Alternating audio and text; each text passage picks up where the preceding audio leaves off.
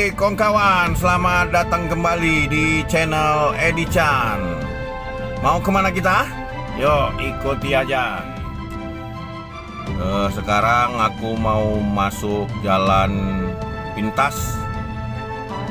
Masuknya kalau dari Perbaungan setelah Sungai Ular ada persimpangan namanya itu ada tertulis itu gapuranya Selamat datang di desa Sukamandi Hilir, kecamatan Pagar Merbau. Dari jembatan Sungai Ular jaraknya kira-kira 500 meter gitulah. Sebelah kanan kalau dari Perbaungan. Jadi aku coba mau telusuri jalan ini. Yuk. Wadadau. Let's go. Ya, kawan-kawan, Tengok jalannya kiri kanan dihiasi dengan persawahan yang hijau membentang. Kayaknya yang sebelah kanan ini udah mulai agak kekuning-kuningan.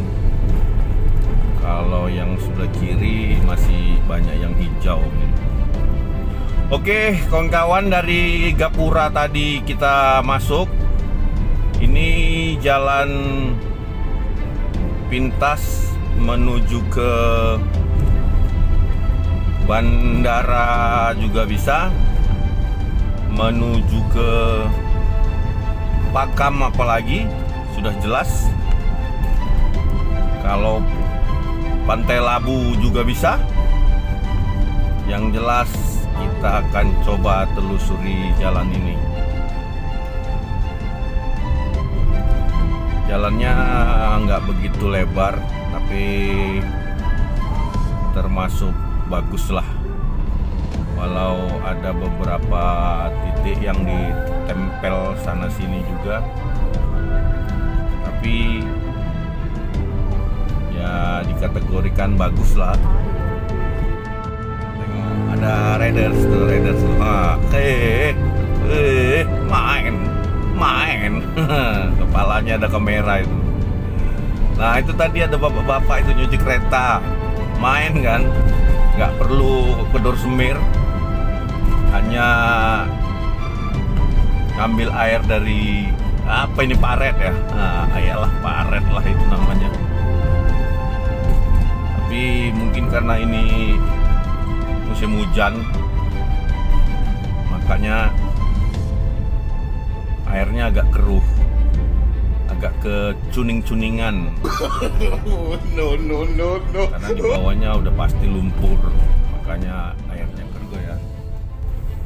Ya jadi kita belok ke kiri ini membelah uh, kebun uh, sawit. Ini jalannya agak-agak berlubang-lubang dan semakin kecil. Ya maklum aja lah namanya juga jalan pintas. Kalau Medan bilang jalan motong. Ya, kayak gini lah kalau jalan motong. Nikmati aja lah apa yang tersaji ya kan? Daripada nggak ada jalan. Nah di sini masih suasananya seperti asli perkampungan. Oh, ada kerbau sama lembu dilepas liarkan. Tapi itu ada yang angon biasanya. Nah, mungkin dia ada di daerah sekitar sini tapi nggak tahu di mana. Yang jelas pasti tetap dipantau. Kalau nggak langau. Langau. Oh no.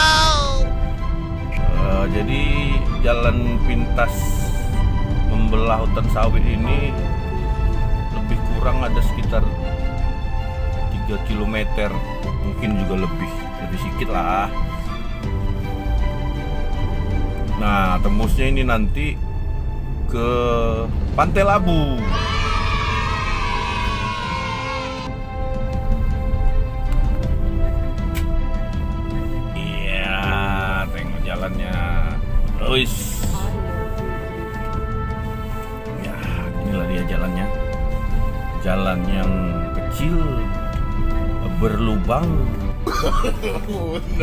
no Nah, kira-kira 300 meter lagi kita sampai di persimpangan Jalan Pantai Labu. Kalau kita ke kiri itu akan mengarah ke kota Lubuk Pakam karena kita mau menelusuri menuju ke bandara kita ambil belok kanan. Itu dia persimpangannya sudah nampak. Oke. Kita langsung ambil belok ke kanan. Oke kita belok. Nah ini namanya jalan pantai labu. Kita nanti melewati simpang yang di depan lalu kita belok ke kiri. Ya. Itu dia ada marka jalannya. Kita langsung ambil ke kiri.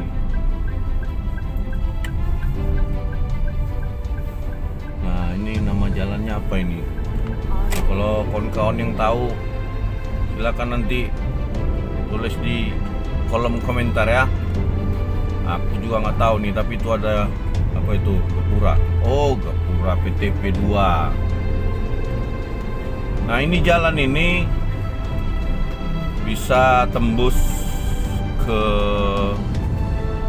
bakaran batu. Simpang bakaran batu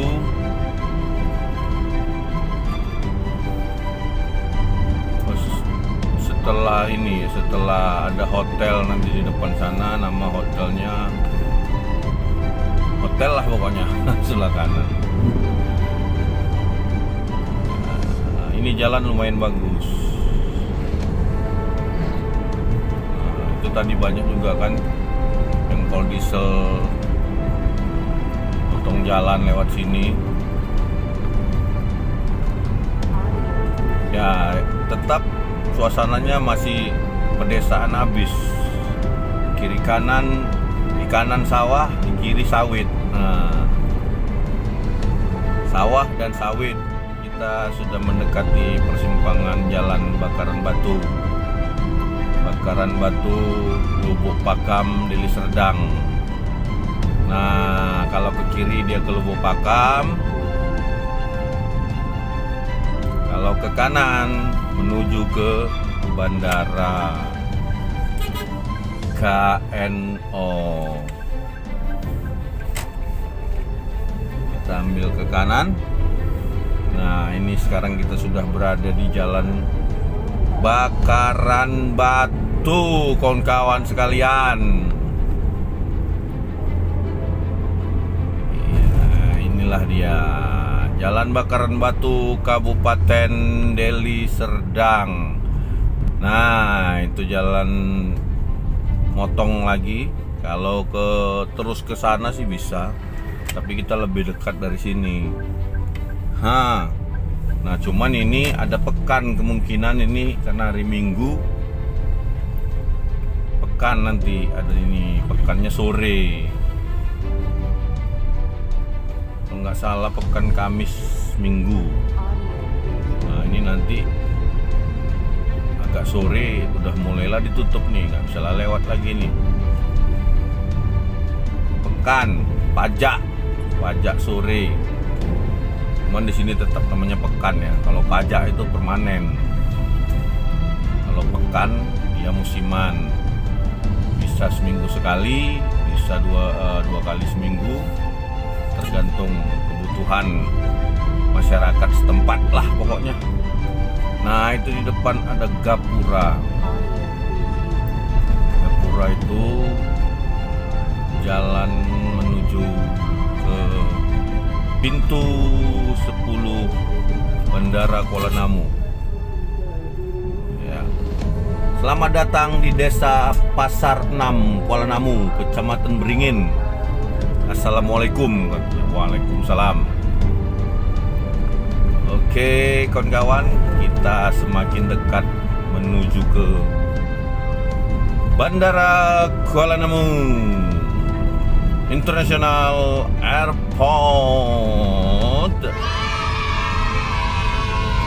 Ya itu di depan yang ada portal itu namanya pintu 10. Pintu 10.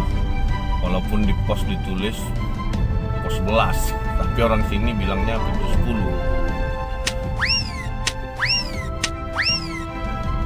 Oke, kita masuk.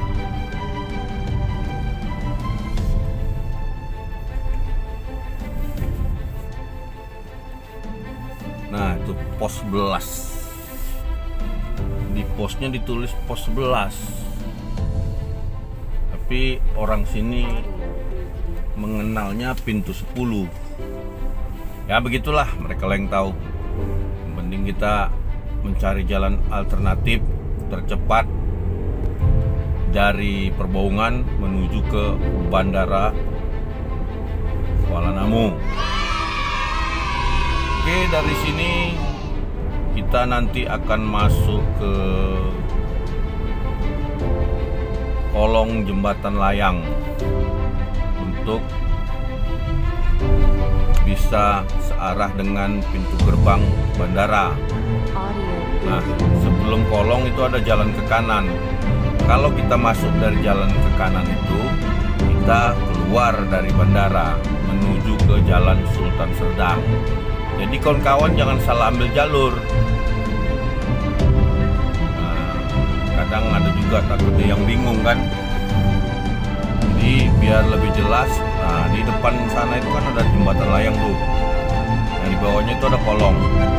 Sebelum kolong itu ada jalan ke kanan menuju ke pintu keluar mau ke Sultan Serdang ya, bukan mau ke bandara, jangan salah. Karena kalau nanti kawan-kawan ambil jalan yang ke kanan itu nanti salah jalan, bukan malah ke bandara malah diarahkan keluar karena nanti kan jalannya satu arah. Nah ini kita belok kanan yang aku maksud itu yang terus tuh terus ke sana. Nah, jangan yang terus ya. Nah, yang terus ke sana ikuti mobil merah itu. Nah, kita ambil ke kiri yang masuk kolong. Kalau ngikuti mobil merah itu tadi itu menuju keluar.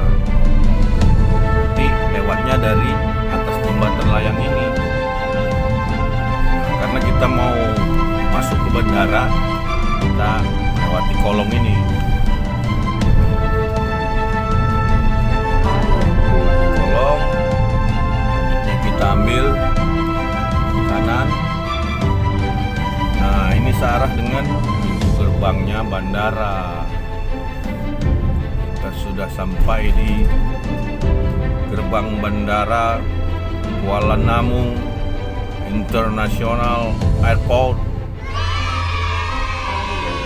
Deli Serdang Sumatera Utara Oke, kawan-kawan, kurasa sampai di sini dulu. Tetap dukung terus channel Edi Chan supaya bisa berkembang ya, kawan-kawan ya. Kita sudah sampai menuju gerbang. Jadi demikian. Wadadau. Ciao. See you. Bye bye.